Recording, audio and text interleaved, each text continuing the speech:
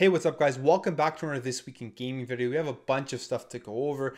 The Nintendo Switch has been completely compromised. We're hearing more about Call of Duty Black Ops 4 for the Nintendo Switch of all things. Plus there's a lot more stuff, so let's get right into the news.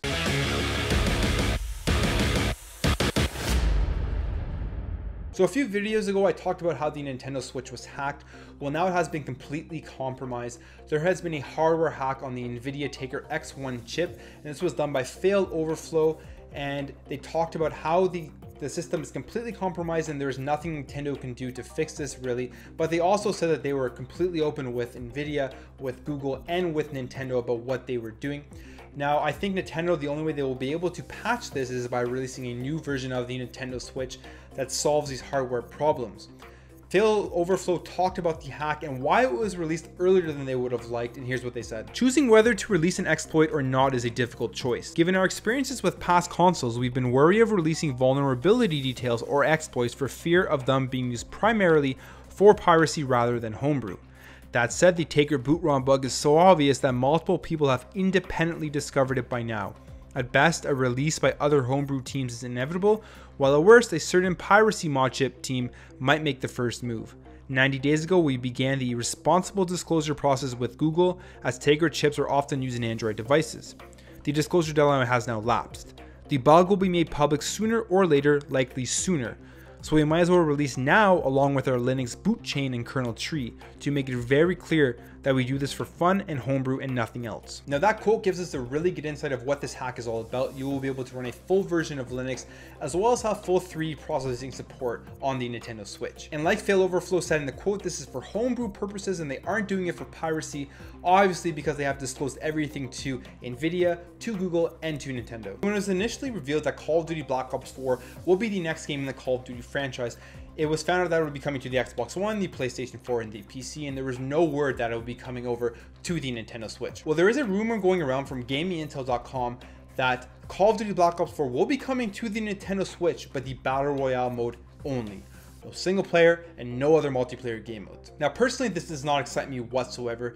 If they are actually going to do this, it better be free, in my opinion, like Fortnite, because if they're only giving you that and they're going to charge you a full price just for a battle royale mode, that would be completely terrible. I don't see them doing that, but I guess we'll find out more on May 17th whether this rumor is true or not. Let me know if it came over to the Nintendo Switch as only the battle royale mode if you would be excited for that if you would purchase that or if you have any interest in that whatsoever sticking on the battle royale front H1Z1, the game that pretty much started the Battle Royale modes, is coming over to the PlayStation 4 in the form of an open beta on May 22nd. Now this mode will be pretty much identical to the PC version of the game.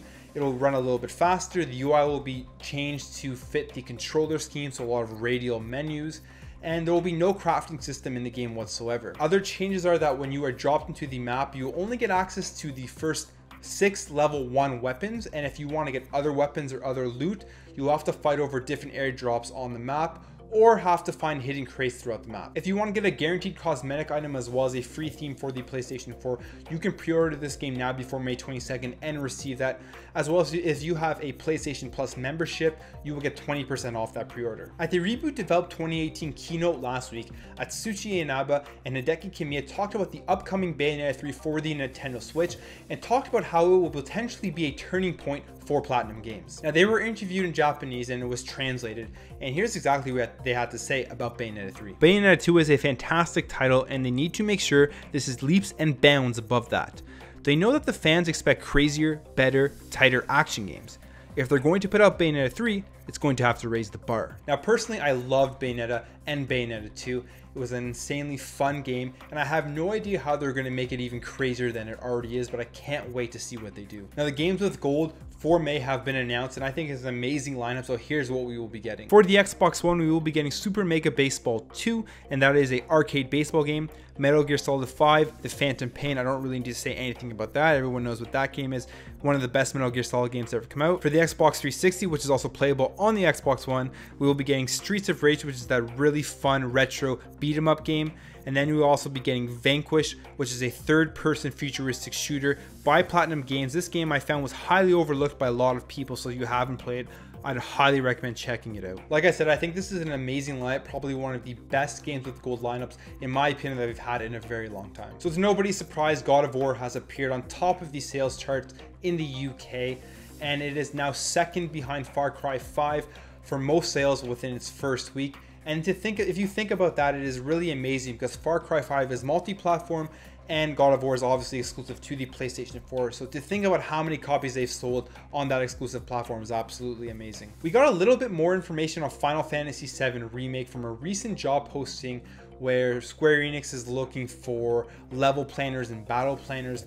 And basically in this job posting, they had a little blurb talking about how this game will surpass Final Fantasy VII. So here's exactly what they had to say. It should be noted that this is an internal production. After 20 years, the staff behind the original Final Fantasy VII who are top rankers in the industry even now, are reuniting. A project to create a title that surpasses the original is starting at full scale. Now, when I read this, it pretty much tells me that they're still way behind in the development of this game, so we won't be getting this for a very long time.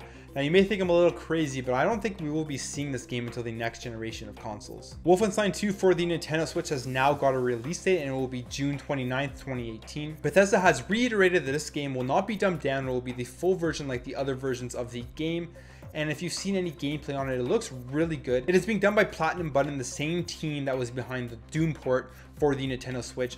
So I'm sure it will turn out great and I'm really looking forward to playing this game, especially because I haven't played yet on any other console. Microsoft and Discord are teaming up. You will now soon be able to link your Xbox One account with your Discord account. Now this means you will be able to see the activity from your friends on Discord with your friends on Xbox One and to see what people on Discord are playing if they're playing PC games and people on Discord will be able to see what you're playing on Xbox One. Now, I'm not surprised by this at all because Xbox is one of the consoles that is really open to merging the PC with the Xbox, obviously because it's Microsoft, but at the same time, they're also really open to cross-playing and having a one ecosystem of all gamers. So I'm not surprised to see this, and I'm really interested to see how this app will work when we can finally get access to it and link our accounts. So it has been confirmed by NBC and Universal that we will be getting a new Doom movie. Now, we don't know much about this movie other than that it most likely won't be making its way to theaters, but rather to a streaming service like Netflix, and that Nina Bergman will be starring in the movie because she tweeted this out. Wow, I'm doing the next Doom movie with Universal Pictures. I just signed all the paperwork. I get to go back to Bulgaria again and work with some of my favorite people. This movie with a super cool director and my new record coming out, I feel like the luckiest girl in the world. Now me personally, I'm not crazy excited for this movie.